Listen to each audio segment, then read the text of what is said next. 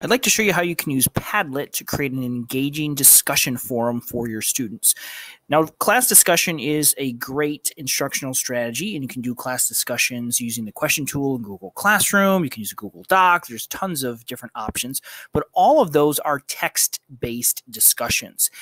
Padlet is an interesting tool because it gives you a variety of multimedia options to do either a video or an audio only discussion. Let me show you quickly how that would work. I'm in a Padlet right now. A Padlet is just a giant canvas onto which you can put anything you want.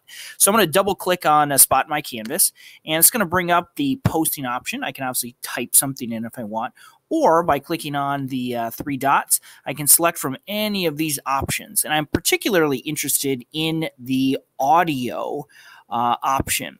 This is one of the, uh, Padlet is one of the few tools that supports an audio only um, option. It's a very interesting way to do a class discussion because it allows students to share their thoughts verbally, which is going to help students who have a hard time typing proficiently or just expressing themselves through uh, writing, where they can do mu- so much better through verbal discussion.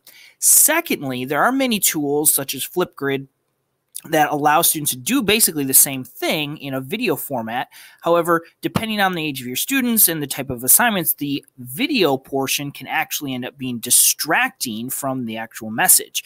For a lot of assignments, it's really the audio that's important. The video is just there as kind of a background. So this helps us focus on just the content without any of the distracting video.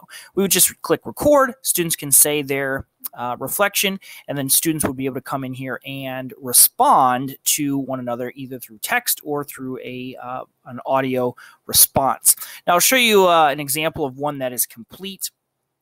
Um, here's one with a whole bunch of uh, responses from teachers. You can see the recording, um, and we can quickly play these, um, listen to them. The other recording's not, you know, super good, but it's is more of a, um, a documentation reflection activity. We're not really planning on publishing these for other people to view. Padlet is a free tool, it's super easy to set up. We'll just click on the Padlet, go to the dashboard, click new um, Padlet page. Um, you can choose any of these options. I like the canvas because you can just move things around however you wish. And there we go. The last thing you'd have to do is just uh, make sure that your canvas is shared uh, so that students can access it. So I'm going to make mine secret so that people can't post to it unless they have a direct link to it. And I'm a big Google Classroom person, so I would just post the link to the Padlet in Google Classroom as an assignment. Uh, it's just this link right up here. Students can do that. Then click the mark is done assignment in Google Classroom to indicate that they have finished that assignment.